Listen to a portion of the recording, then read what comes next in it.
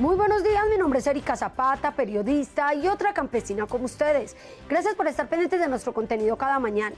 Bienvenidos a la finca de hoy. Y miren, yo los saludo desde el municipio de San Pedro de los Milagros. Aquí hace frío, por eso se dedican sobre todo a esto, a la producción lechera, lo que ven a mi fondo, los campesinos salen adelante a través de este tipo de explotación. Ese producto, es decir, la leche, lo utilizan para consumo familiar y también para la venta para empresas muy reconocidas de todo Colombia. Hay que decir que en este momento se ha ido favoreciendo el tema de los fertilizantes para el pastoreo, también la alimentación de los bovinos, los insumos han ido bajando y también las lluvias benefician este tipo de producción. Bienvenidos al capítulo de hoy. En el siguiente informe, un médico veterinario zootecnista nos cuenta cuál es la importancia de los aditivos naturales en la alimentación de los bovinos. Esto sirve para mejorar el metabolismo y también la productividad y la rentabilidad en una explotación. Todos los detalles y las recomendaciones en la finca de hoy. El Sacha Inchi es un producto que ha ido tomando mucha fuerza en Colombia, sobre todo en los departamentos de Antioquia y Santander. Ya les daremos una serie de recomendaciones para la siembra, la cosecha y también los productos derivados que se pueden hacer del Sacha Inchi. Ya les contaremos en la finca de hoy la historia de una familia que está implementando cinco explotaciones diferentes en un mismo lugar. Además son amigables con el medio ambiente. ¿Cuáles son los detalles de esta experiencia o por qué están trabajando así? Ya lo sabrán.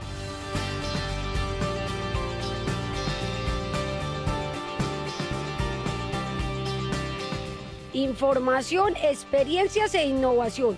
Acompáñenos en este recorrido agropecuario por Colombia.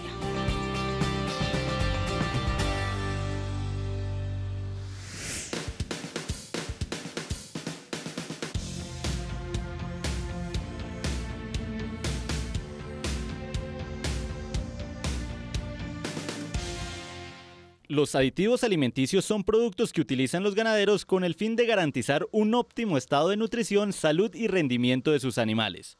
Aunque estos no brindan porcentajes de proteína o grasa, sí ayudan para que los alimentos que recibe el rumiante de pastos y forrajes sean asimilados de buena manera por el animal. Cabe destacar que en algunos casos estos añadidos contienen vitaminas, aminoácidos o minerales que presentan deficiencia en el rumiante.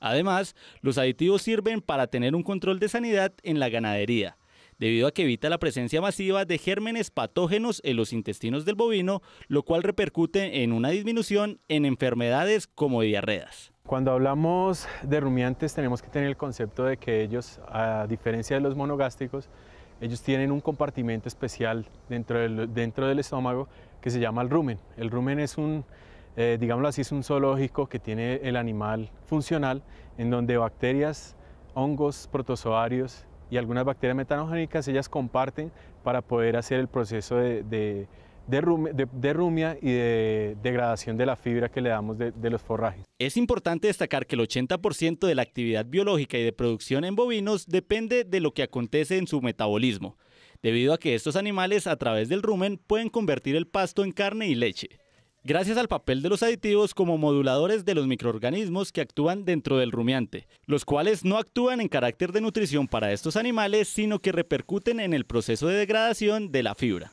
Cuando hablamos de aditivos, eh, tenemos que tener en cuenta que es unos, es unos eh, elementos que nos van a ayudar en la dieta para poder ayudar a un proceso funcional dentro del organismo. Cuando hablamos de suplementación es cuando el animal necesita un nutriente que está deficiente, bien sea en la alimentación, que venga del forraje, eh, tipo la proteína o el carbohidrato para poder tener energía para la producción. Mientras que los aditivos, ellos nos van a producir un efecto fisiológico dentro del, dentro del rumen para poder hacer un mejor aprovechamiento de esos nutrientes. Una de las funciones de los aditivos naturales en la dieta de los bovinos es su aporte en enzimas, aminoácidos y vitaminas, factores que benefician para que el productor pueda generar un óptimo desarrollo en la ganancia de peso de sus animales, debido a que estos mejoran la conversión alimenticia, lo cual repercute en una mejor calidad de los productos derivados de los bovinos como carne y leche. Sin embargo, es importante destacar la importancia de los microorganismos, los cuales cuando tienen un desbalance de población dentro del aparato digestivo del animal, repercuten en una baja asimilación de nutrientes que puede generar falta de apetito y una disminución en la producción de leche. Cuando nosotros le damos fibra a una vaca, cuando le damos pasto, cuando le damos forraje, ellos entonces van a hacer ese proceso de degradación de la fibra. Si ellos tienen un desbalance en, esa población, pues obviamente cuando nosotros damos los aditivos, pues obviamente podemos potencializar algunos microorganismos para que ellos mismos puedan tener un control mediante el ambiente ruminal y puedan aprovechar mejor las fibras, degradarlas y producir aún mayor eh, ácidos grasos volátiles. Los antioxidantes se utilizan para la conservación de los alimentos y para prevenir alteraciones oxidativas de las vitaminas. En algunos casos, el grado de antioxidantes sintéticos son perjudiciales para la salud humana, por lo que se recomienda utilizar sustancias naturales para este proceso como aceites de clavo o canela, extracto de romero y extracto de té verde. También es importante resaltar las fuentes de taninos en la dieta de los rumiantes, los cuales se pueden suministrar en henos de leguminosas, especies arbóreas como el roble y la acacia. Tenemos también especies autóctonas que son muy ricos en compuestos secundarios, en compuestos metabólicos, que las plantas utilizan para defenderse de algunos animales y de ambientes agrestes como por ejemplo en las producciones de trópico bajo. En las producciones de trópico bajo estas especies tienen contenidos por ejemplo de taninos condensados, de eh, compuestos antinutricionales que llamábamos antes, pero que en la actualidad ellos tienen una funcionalidad en cuanto a brindar un mejor eh, ambiente para estos microorganismos en el rumen. Los aditivos naturales también ayudan a reducir la incidencia bovina en el cambio climático, debido a que estos reducen la expulsión de metano, el cual es perjudicial para la capa de ozono.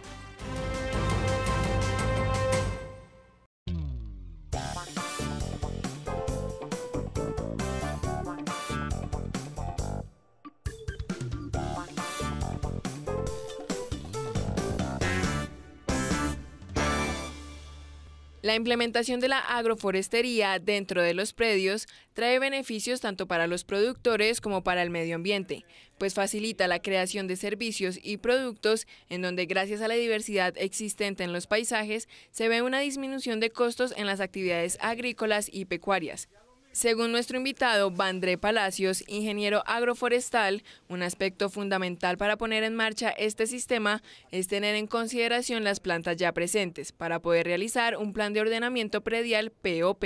Tenemos muchos beneficios nosotros al incorporar, al eh, apropiarnos o al adoptar todos estos árboles o incluso a no cortarlos porque nosotros eh, ampliamos la, la frontera donde vamos a hacer agricultura, ¿cierto?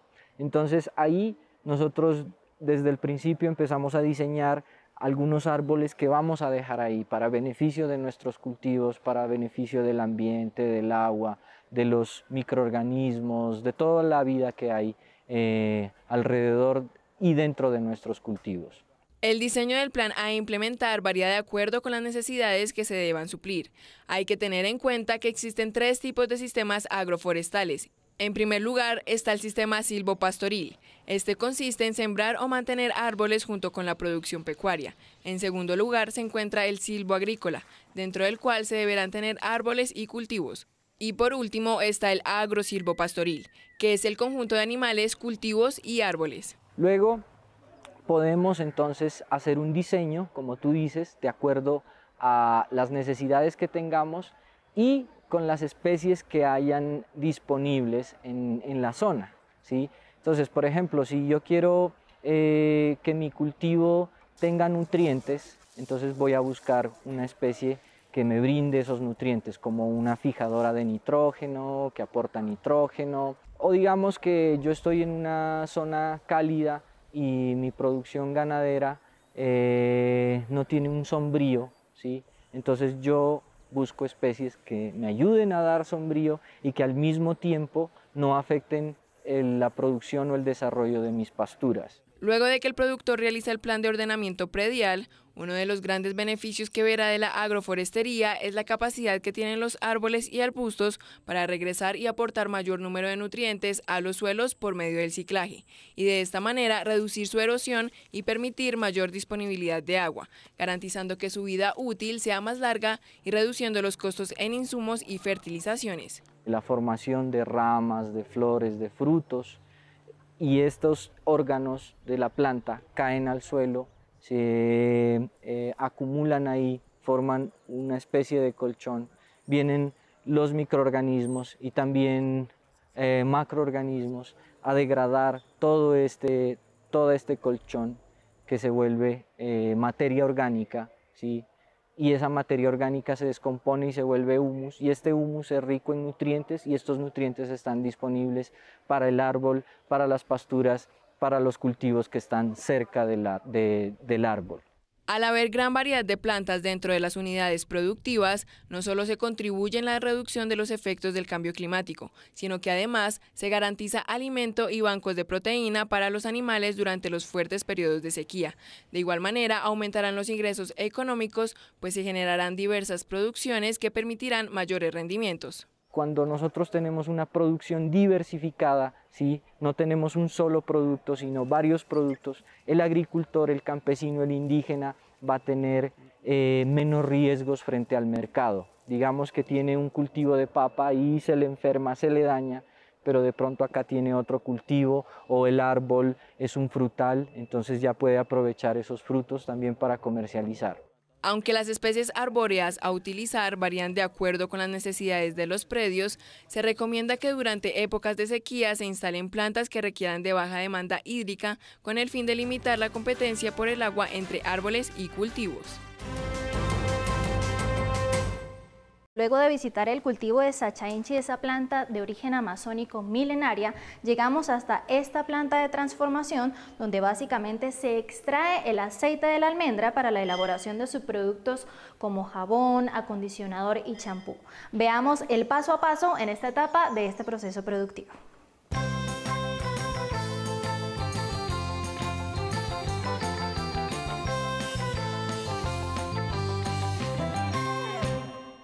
Lo que hacemos es mirar primero el grano, que sea un grano seco, que sea fácil de romper, ¿sí? ¿Qué pasa? Cuando el grano está fácil de romper, cuando pasemos a la máquina, a la descascaradora, el manejo de la semilla va a ser más práctico y más óptimo. Eh, va a descascarar más rápido. Entonces, eso es lo que se le aconseja al agricultor, que se recoja principalmente cuando sean en días que haya calor, en caso de haber lluvias al momento de la cosecha, las estrellas de Sacha Inchi deben extenderse sobre un plástico en el sol para eliminar todo rastro de humedad. Deben llegar a la planta en sacos limpios, secos y en buenas condiciones para comenzar a hacer la selección. Cuando se recoge la semilla, cuando está mojada y tiene lluvia, al almacenarlo a ella se le impregna un hongo, un hongo color blanco. Ese hongo, ¿qué pasa? Empieza a pudrir la semilla. Si tú miras el color de las estrellas, esta estrella tiene unas óptimas condiciones de recolección, ¿sí? Primero el color, segundo porque rompen muy fácil, la semilla viene en excelentes condiciones. En cambio esta ya puede ver que el color de la, de la estrella ya empezó a cambiar, ya se le empieza a impregnar el hongo que es un color blanco. ¿Sí? ¿Qué pasa? Esta semilla se vuelve vana, no tiene nada por dentro, ¿sí? Como pueden ver, la almendra está totalmente dañada. Luego de hacer la primera selección, los sacos de estrellas se llevan a la descapsuladora, esta máquina que por hora descapsula 100 kilos de estrellas, retirándoles la capa que recubre la almendra. Recibimos la, la estrella de diferentes fincas donde viene ya previamente seleccionada. Luego nosotros la surtimos a la máquina donde ella la descapsula. Nos la da en blanca y en negra. Luego de obtener las almendras, se realiza un segundo proceso de selección en pro de optimizar la calidad del aceite a extraer. Si usted eh, empieza a seleccionar semilla que está mal, ya empieza a contaminar el aceite, ¿sí? ya empieza a cambiar el sabor, a cambiar el color. Y aquí lo que hacemos es seleccionar la blanca para el prensado, para seleccionar la almendra. Entonces aquí esa semilla ¿qué queda? Esa semilla vuelve y se pasa por la máquina. Después de escoger las almendras, estas se llevan a un envase limpio en donde se dosificarán sobre estos trozos de tela que funcionarán como filtro dentro de la prensa extractora del aceite. En cada tela se ubican dos porciones de esta paleta y se recoge haciendo una especie de enrollado al final. Esto evitará que salga con impurezas o pedacitos de cáscara. Por paquetico, una libra. La prensa tiene una capacidad para 9 libras. Esos paqueticos se acomodan y después se hace el respectivo prensado. Esta palita hace media libra cada paladita y siempre se aplican dos para poder armar lo que es el, el paquetico de la tela para el respectivo prensado. Cada libra de almendras se lleva a la prensa hidráulica. Allí se obtiene el aceite de Sacha Inchi que finalmente al caer pasa por un colador para evitar que pasen residuos del prensado y así incrementar su pureza. Luego se deposita en este tanque. Después que tenemos el aceite en, en el tanque ya eh, cierta cantidad, la pasamos a esta, a esta filtroprensa, que es la que hace que el aceite al final salga pero puro, claro y, blanco. El proceso de esta prensa, ¿qué es lo que hace? Ella tiene varios paneles y lo que hace es que con una bombita se ella, ella pasa presión y panel por panel va filtrando tanto la prensa extractora como la filtradora deben ser de acero inoxidable para que en la manipulación del aceite haya la mayor inocuidad posible. El producto final puede utilizarse directamente para consumo o como ingrediente para la elaboración de jabones, acondicionadores, lipsticks, ungüentos y cremas. La trivia del campo. Conviértete en un experto con la finca de hoy. Pregunta. ¿De dónde vienen los hornos para hacer pan? A. Colombia. B. India. C. Egipto. Piénsalo bien y descubrirás la respuesta correcta.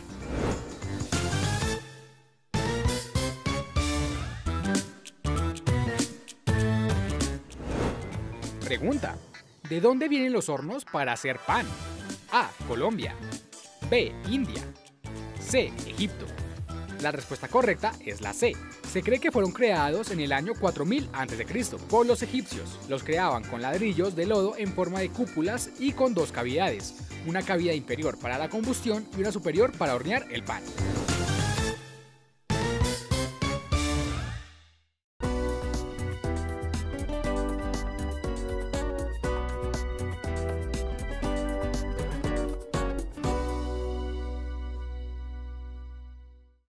Los parásitos gastrointestinales inciden negativamente a los porcinos, ya que pueden provocar una disminución significativa en el peso corporal del animal, generando pérdidas económicas. Sin embargo, el diagnóstico en diversas ocasiones suele ser un inconveniente para el productor, debido a que los síntomas son cautelosos en primera instancia, por lo que es muy difícil identificarlos. Los parásitos son unos organismos que viven a expensas de otro y al cual terminan ocasionándole daño.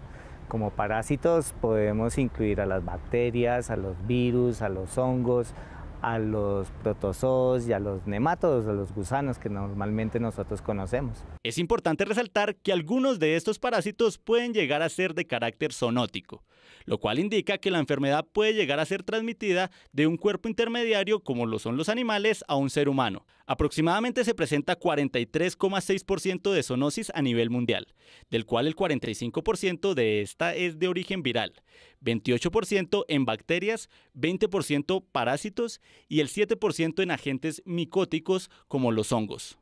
Muchas de las enfermedades que hoy en día están afectando a los seres humanos son procedentes de los animales. Entonces, eso es lo que conocemos como parásitos zoonóticos. Día a día, con la convivencia con los animales, nos vamos encontrando que aparecen muchos más. Los más conocidos eh, el, el, toxoplasma es uno de los más conocidos. Nosotros nos vamos a encontrar que en algunos animales hay más parásitos zoonóticos que en otros.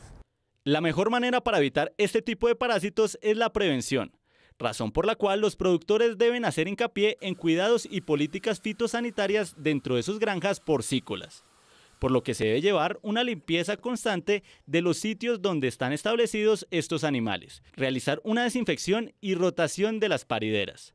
Además, el productor debe tener en cuenta que los comedores y bebederos también deben tener una limpieza periódica con agua caliente y desinfectantes, ya que estos suelen ser las principales fuentes de contagio del Toxoplasma gondii. Una de las recomendaciones es que la fuente de agua o el reservorio de agua esté tapado, que esa agua sea tratada antes de ser suministrada a los animales y que no llegue directamente a los animales sabiendo que puede llegar a estar contaminada por, por el espero definitivo. Es importante resaltar que estos parásitos también se pueden transmitir por medio de la materia fecal de los animales además de fluidos corporales de los cerdos cuando tienen contacto con heridas en las manos de los humanos que los manipulan. ¿Cómo se transmite? Generalmente se necesita eh, una primera transmisión, puede ocurrir a través del el consumo de alimento o agua contaminada con excremento del hospedero definitivo del toxoplasma, que son los gatos, los felinos, son los del hospedero definitivo y ellos pueden contaminar alimento o agua de bebida y si están infectados los gatos podrían transmitir este parásito a las otras especies animales. Podemos incluir ahí gallinas, bovinos, equinos, caninos y los humanos. Los efectos económicos se evidencian en la disminución en la producción, debido a que los cerdos suelen presentar anemia y dificultad para caminar.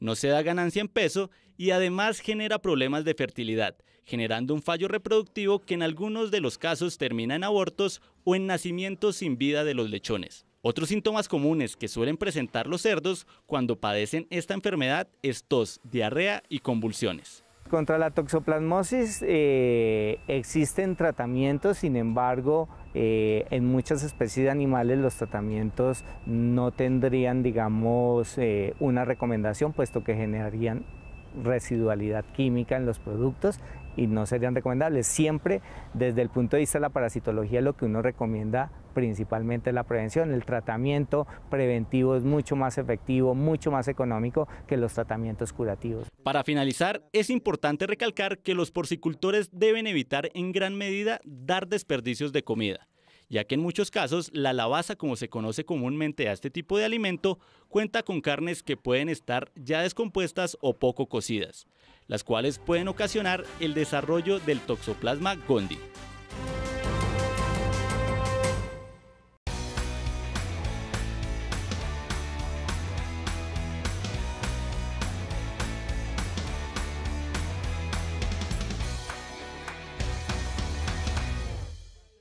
Se sabe que por medio de la polinización es posible que las plantas lleven a cabo el proceso de reproducción. Los agentes o vectores de polinización son los responsables de realizar la transferencia de polen de una planta a otra. En el caso del cultivo de cacao, la polinización natural la realizan unas pequeñas moscas o microdípteros que cuentan con un tamaño máximo de 3 milímetros. Estos animalitos requieren de cuidados y manejos específicos que garanticen tanto su supervivencia como la producción de semillas del fruto.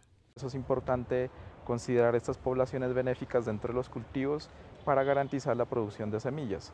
La flor de cacao es una flor de 2 a 3 eh, centímetros, lo cual hace que digamos, no sea tan fácil de polinizar con la mayoría de los insectos. ¿ya? Por ejemplo, una abeja no podría polinizar una, una flor tan pequeña.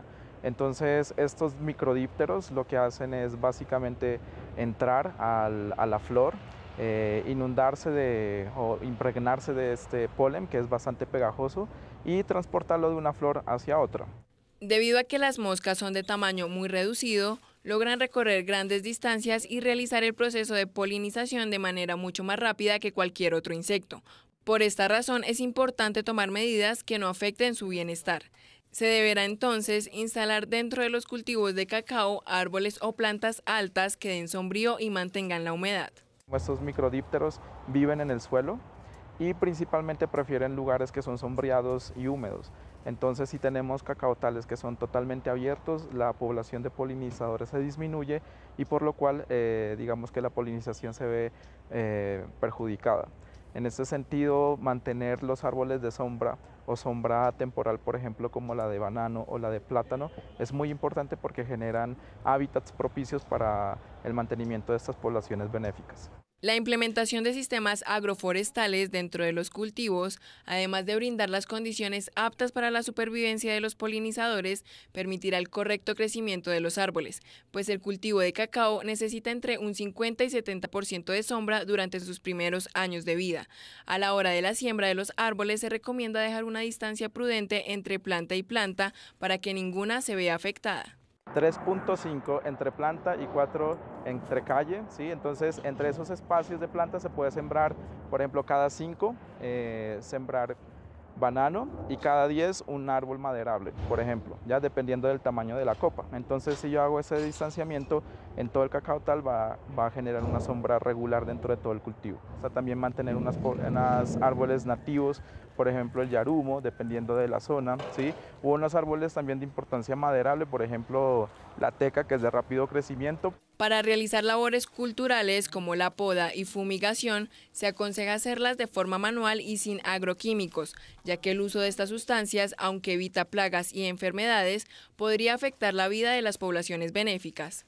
El cacao, básicamente las principales enfermedades que tienen son relacionadas con hongos. Esos básicamente se controlan haciendo podas de mantenimiento del cultivo del cacao, eh, evitar que las hojas toquen el suelo, por ejemplo, para evitar que se transmitan enfermedades y estas se pueden hacer de forma manual sin ningún tipo de agroquímicos. Implementar estos cuidados dentro del cultivo de cacao les permitirá a los agricultores garantizar el bienestar de los polinizadores, lo que trae como consecuencia la posibilidad de aumentar el número de plantas dentro de sus producciones y mejorar la calidad de los frutos. Buenos días desde el municipio de Suaza, departamento del Huila. Hoy los saludamos desde la Granja Integral San Manuel, en donde manejan porcicultura, avicultura, ganadería bovina, cultivos frutales y piscicultura en un mismo espacio de tan solo dos hectáreas. ¿Cómo se hace para el sostenimiento de estas cinco actividades y cuáles son las medidas de sanidad y de manejo? A continuación les contamos.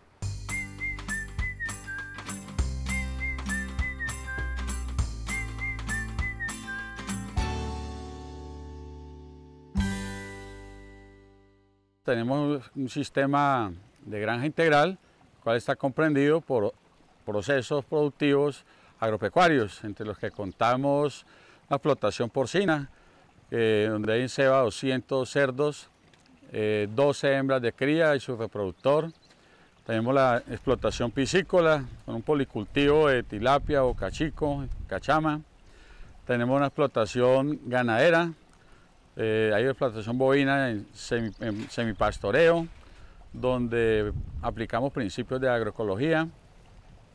Tenemos sistemas integrados en la producción de frutales, eh, limones, mangos, entre otros. El área destinada para la ganadería bovina es de una hectárea y está dividida en seis potreros en los que se siembra pasto estrella.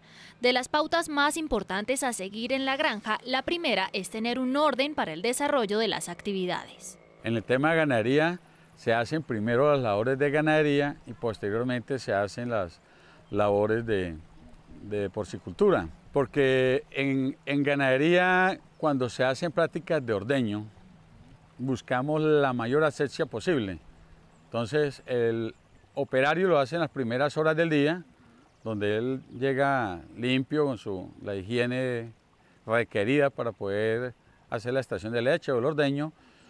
Ya posteriormente va a otras actividades que de pronto lo obligan a, a que la carga de patógenos o de mugre, por llamarlo así, sea más constante. La producción bovina a pequeña escala se logra hacer más productiva dentro de la granja manejando pastos resistentes a los veranos, implementando silvo pastoreo con botón de oro y estableciendo allí mismo en los potreros los frutales. Hemos implementado algunas leguminosas, mejoran la calidad de alimento para los animales y, y nos hace más productiva el metro cuadrado por área. El espacio para la producción porcina es de 250 metros cuadrados, divididos en cinco naves, donde se ubican los cerdos de levante, de ceba y las hembras de cría.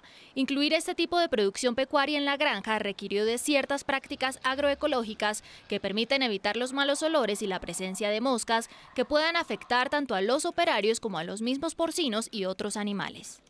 Aspersión diaria con microorganismos eficientes que nos ayudan a controlar la población de patógenos en la materia orgánica, minimizando los riesgos o la afectación que nos puedan generar bacterias dañinas eh, controlada por otros microorganismos que sí son benéficos, que van en esos microorganismos eficientes. las medidas sanitarias que más eh, ponemos en práctica en la Gran San Manuel es la de evitar el contacto dentro de una misma especie en diferentes edades.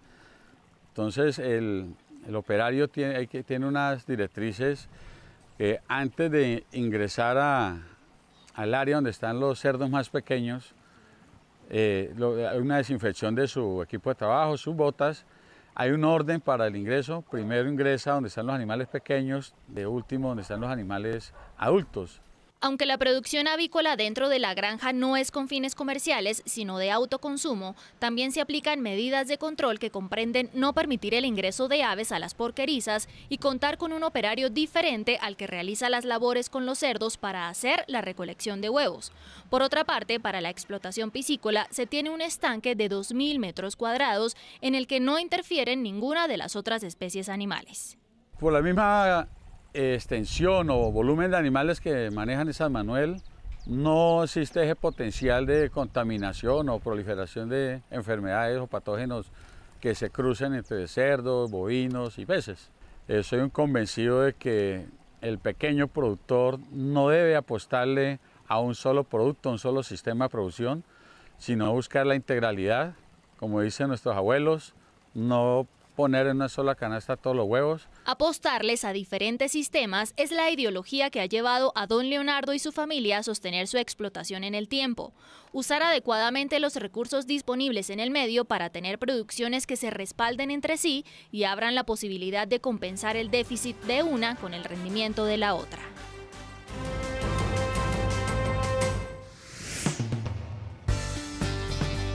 Al regreso,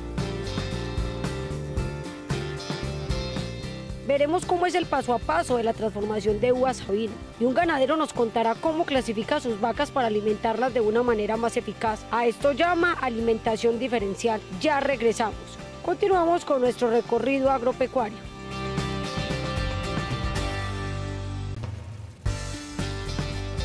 Ya les hablaremos sobre la transformación de las uvas en vino. La idea es generar un valor agregado y así tener más plática para la finca.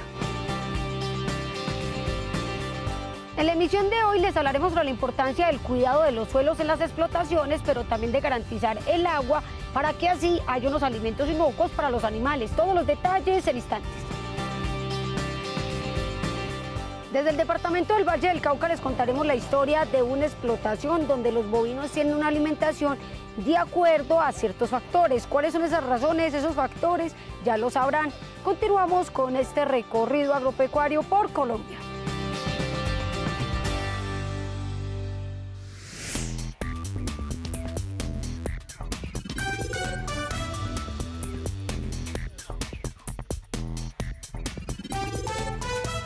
Las tarifas eh, hoy están altas, mañana muy bajas, entonces al tener esta, esta variabilidad en los precios, eh, no estábamos teniendo el margen que queríamos eh, para el cultivo o para el proceso que es el cultivo de la fruta, de, uva.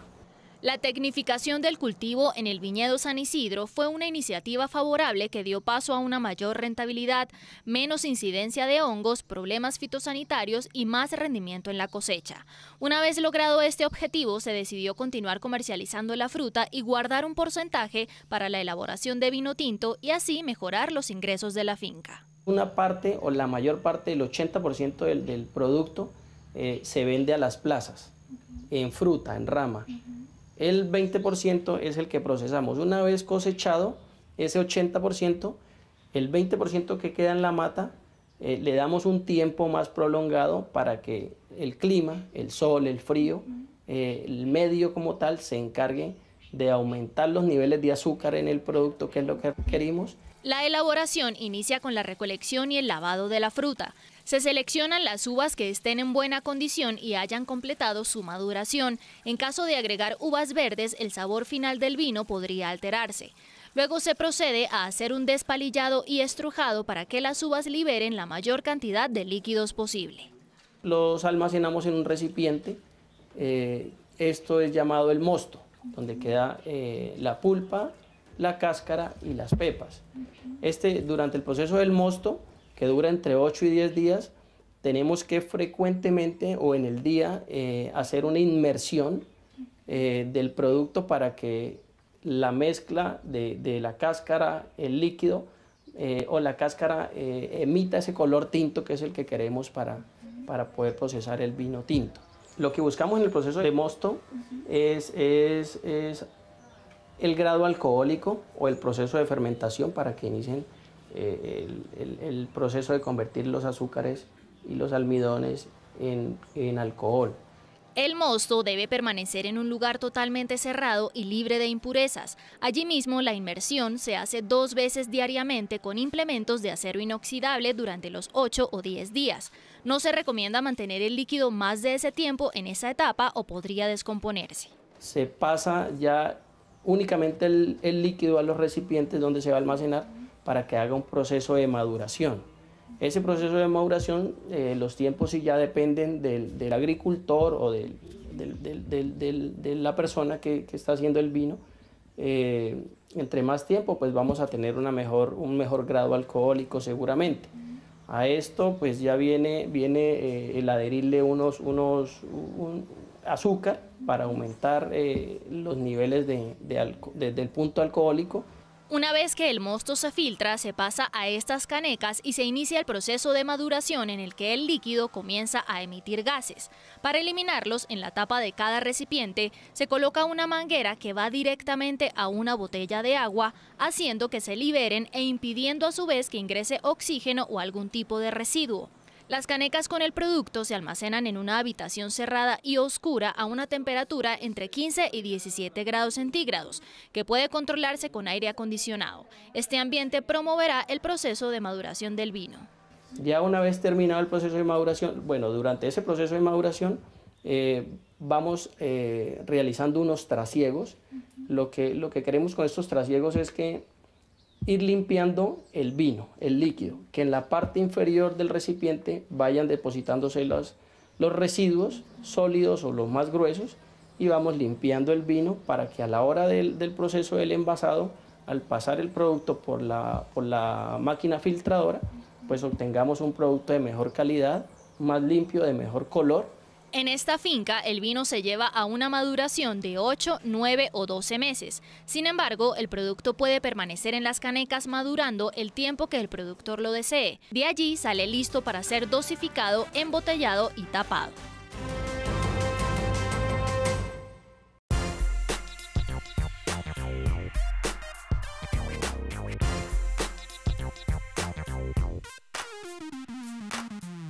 El aprovechamiento de residuos que se genera en una plantación de cacao ha sido una de las estrategias que utilizan diversos productores para generar abono orgánico que sirva para sus siembras y así poder reemplazar fertilizantes de carácter químico pues el compost que produce el cacao tiene contenidos de calcio, fósforo, potasio, magnesio, nitrógeno y potasio, factor que aparte de generar un ahorro económico para el productor, genera un beneficio en la retención de nutrientes y fijación de carbono en el suelo. El abono orgánico es, mejor que todos los químicos y mejor, por eso nosotros implementamos eso y como somos una finca totalmente orgánica, entonces por eso adquirimos hacer el abono propiamente nosotros aquí.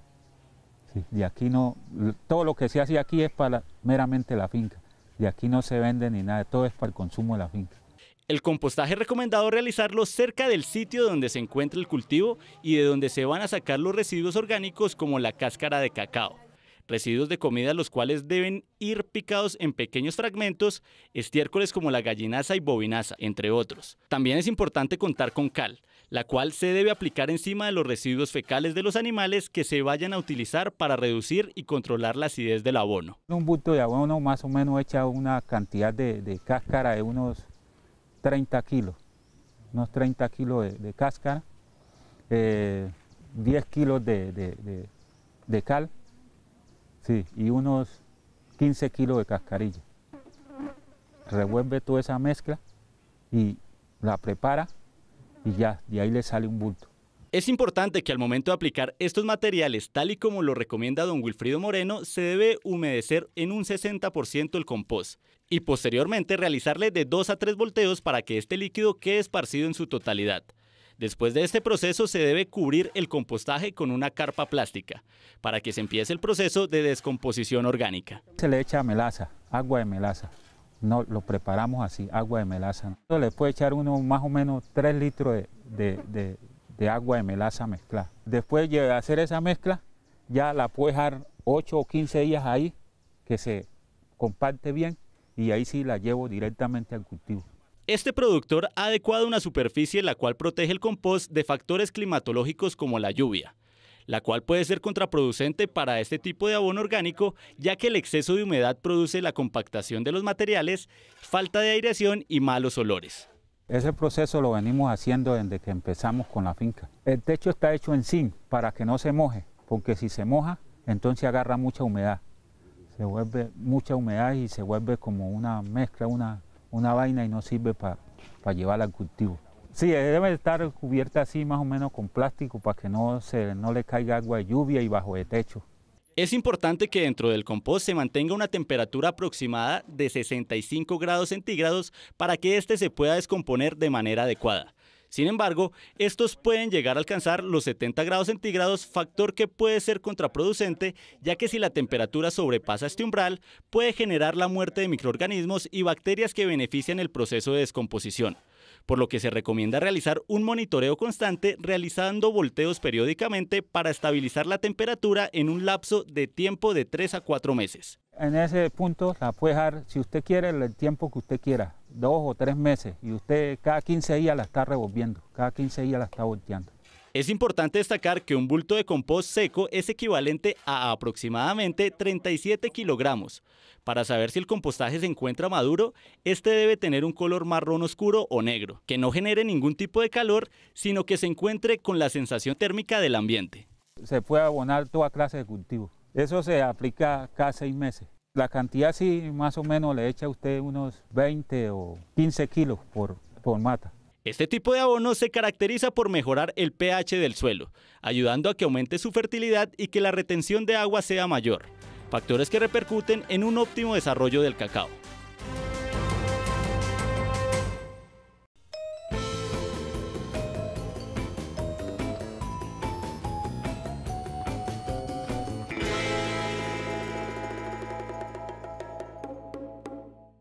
Debido a las diferentes actividades humanas agropecuarias y por procesos naturales de la tierra, según un estudio realizado por el IDEAM y el Ministerio de Ambiente, el 40% de la superficie continental de Colombia presenta algún grado de erosión y deterioro, lo que trae como consecuencia que los suelos sean menos fértiles o presenten pérdida de nutrientes y minerales, lo que perjudicaría gravemente la producción de alimentos.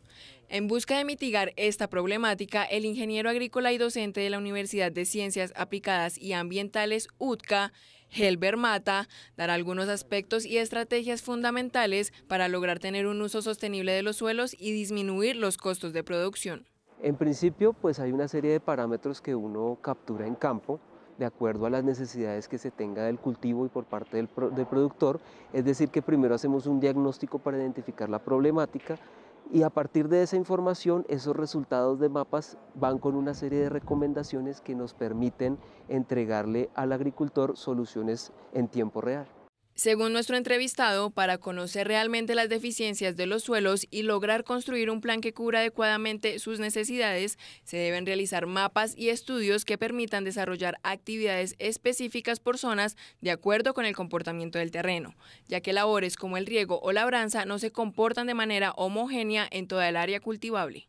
El manejo por sitio específico parte de que yo tengo mi lote y considero que todas mis propiedades en el suelo, todo lo que yo aplico de fertilizante se comporta de forma homogénea en mi lote. Resulta que esto cambia en el espacio y también en el tiempo. Y lo que pretendemos es mostrar justamente cómo son esos cambios y a través de esos manejos localizados, cómo puede proporcionar una dosificación específica tanto en agua de riego como de fertilizantes y de químicos asociados para que de alguna manera bajen los costos. Es necesario que los productores y asistentes técnicos estén al tanto de los cambios que presenta el suelo durante todas las etapas de desarrollo del cultivo, con el fin de saber las necesidades hídricas o nutricionales que necesita la zona de plantación. Para esto se podrá usar un GPS en donde se marquen los puntos georreferenciales para posteriormente realizar estudios que determinen cómo se está moviendo el suelo.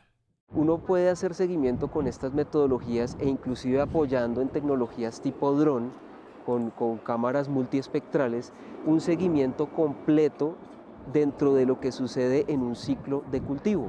Entonces, por ejemplo, si yo tengo un cultivo de papa que dura cuatro meses aproximadamente, durante todas sus etapas puedo estar revisando qué sucede desde el punto de vista nutricional, acotarlo con nuestra metodología y tomar decisiones de manejo también desde el punto de vista químico y asimismo microbiológico. Realizar un manejo adecuado con estas tecnologías trae diversos beneficios, ya que permite disminuir considerablemente el uso de insumos, pues se sabe de manera casi exacta la cantidad a utilizar, lo que reduce de manera simultánea los costos y el impacto que éste tiene sobre el medio ambiente.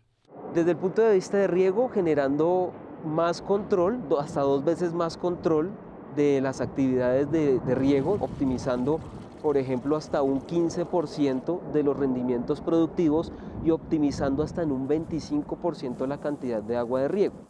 Finalmente, es recomendable no eliminar grandes extensiones de cubierta vegetal, pues esta es la que mantiene los suelos húmedos y compactos. Asimismo, es indispensable plantar árboles y arbustos dentro de los terrenos que apacigüen la velocidad y el impulso del viento que causa la erosión en la tierra.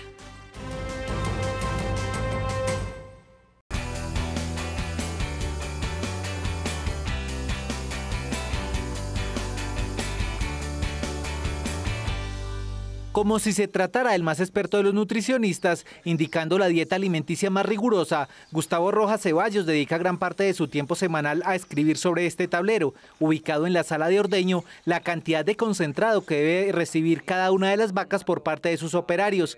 Todo depende de la fase productiva en que se encuentre cada animal. Ese tiempo lo define la fecha del parto.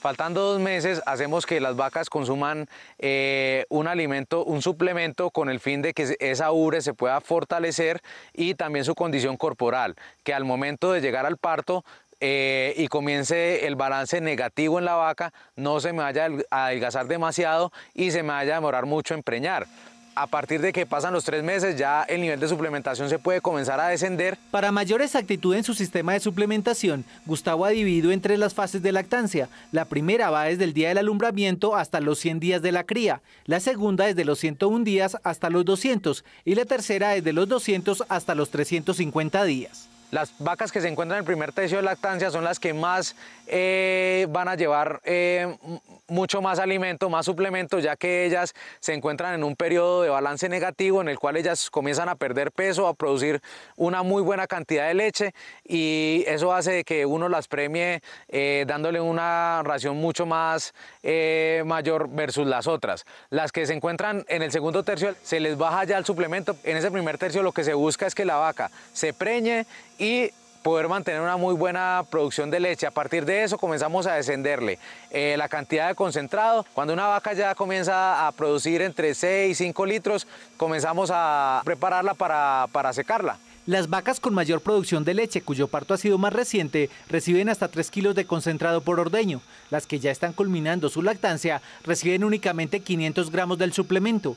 La variable de mayor importancia tiene que ver con la rutina de ordeño. Cuando una vaca, el horario se trastorna, comienza a haber fluctuaciones de leche y eso afecta obviamente las utilidades de la empresa. Las vacas son muy rutinarias. Cuando una vaca se ordeña un día una hora y otro día otra hora, de una usted va a sentir la diferencia en la producción de leche. La suplementación no exime del trabajo que necesitan las praderas, las cuales representan por lo menos el 70% de la alimentación de cada vaca. Predominantemente en la finca tenemos pasto quicuyo y estrella.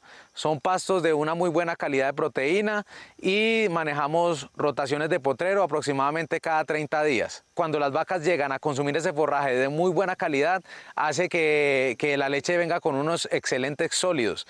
Eso también tiene variaciones a veces en las épocas de lluvia y, en las, y en las épocas de sequía. Cuando la vaca se encuentra en primer tercio, en segundo tercio, también tiene eh, variaciones en, los sólidos de la leche. A partir del segundo tercio los sólidos mejoran, se vienen leches más concentradas. En el primer tercio la leche es, es mucho más volumen, pero sin decir de que hay mala calidad de leche. Los potreros que son fertilizados con microorganismos eficientes permiten rotación cada 35 días. Aquí al frente se puede ver el bosque, allá hacemos una captura de microorganismos que se hace a través de eh, un costal, le echamos salvado de, arroz y melaza y allí podemos capturar muchos eh, microorganismos. Estos microorganismos finalmente se replican y allí utilizamos el suero de la leche, eh, llenamos las canecas de 200 litros de leche, aplicamos microorganismos y dejamos fermentar con una trampa de vacío. A ese prepara se le echa también melaza, ese es de, de, de vaca y se deja fermentar aproximadamente por 40 a 60 días, dependiendo del clima que esté haciendo, él más o menos se va fermentando. Eso dura aproximadamente 60 días, 40 días, ya cuando uno vea que la trampa de vacío deja de burbujear, allí ya se hace el, como tal el, el, destape y, y, vamos a utilizar ese, ese, e, e, esa sustancia a razón de un litro de microorganismos eficientes por cada eh, bomba Ubicada en el corregimiento San Lorenzo de Tuluá, Valle del Cauca, la finca Guabonita trabaja con cruzamientos Jersey y Yerhol, produciendo hasta 15 litros de leche por vaca en doble ordeño. Y aunque para nosotros termine ese capítulo, sabemos que para ustedes apenas inicia el día. Gracias por cultivar la tierra del país. Recuerden que las personas que están en otros países nos pueden ver a través de la señal de Caracol Internacional y ustedes a través de las redes sociales que aparecen en pantalla. Ustedes no solamente son los protagonistas de este programa, también del trabajo de la tierra del país. Mañana tenemos otra cita bien temprano, pero quien madruga, Dios le ayuda y todos los días madrugamos para aprender del trabajo de nuestros campesinos. Hasta pronto.